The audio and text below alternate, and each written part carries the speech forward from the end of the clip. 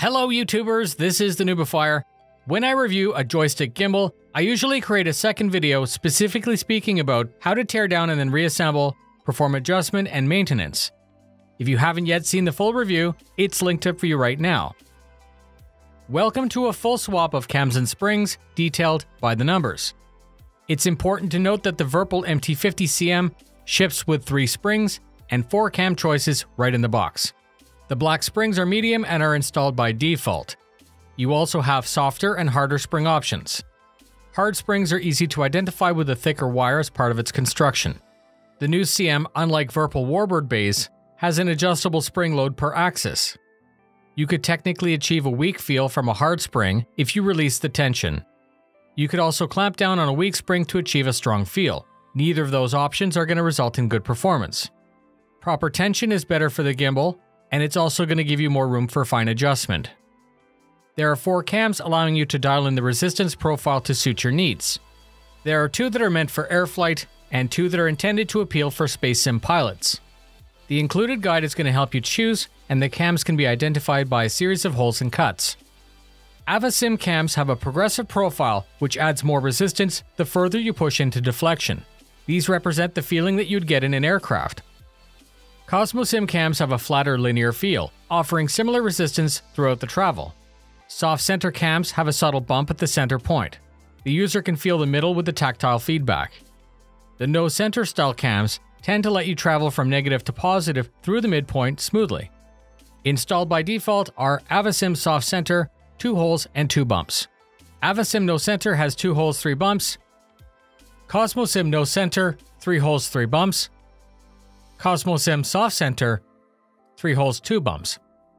When you buy a joystick of this caliber, it's expected that the user is going to perform testing and adjustment. It's normal to remove and replace parts, and this doesn't void any warranty. We begin the process with the gimbal removed from its mounting solution, with the wires removed and the rubber caps installed. You'll need a 2.5mm Allen driver, a broad flathead screwdriver, some paper towel, and possibly a pair of needle nose pliers. There's no reason with this gimbal to remove any of the top mounted bolts. Remove the lower cover by removing the four Allen bolts. Remove the top rubber cap associated with the axis that you're adjusting. The nearest cap is the y-axis and the far cap is for the x. It may be easier if you take off the grip, but you don't have to. Loosen the tensioner counterclockwise until the cam arm falls. Remove the tensioner and all the parts with it, including the spring. This is where the paper towel comes in as the parts are pre-greased. Resist the urge to clean off the grease as it's there for a reason. The tensioner includes a Teflon spacer, a metal washer, and finally the spring in that order. At this point, you have full access to the cam and spring. The cam arm freely rotates 90 degrees with the tensioner removed. This gives you full access to the two screws that secure the cam. At this point, simply loosen the screws and make sure to keep track of the lock washers. Remove the cam and replace it with the desired cam and assemble in reverse order.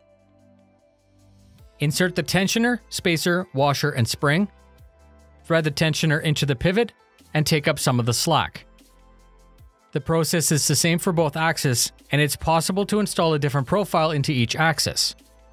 Once you check everything, replace the lower cover reattach the gimbal to the mounting solution, and then connect the wire. Don't forget that you need to recalibrate because you've changed major components from the inside. Once I became familiar with the process, I actually found that I could do this while the gimbal was mounted. And that's it. Thank you very much for spending your time with me. The channel is known for no bullshit, which is short and to the point videos. Please follow the link for the full review on the MT50CM and a host of other controller reviews and guides. I have the Virpil restock schedule linked in the description. Fly safe, and I'll see you in the verse.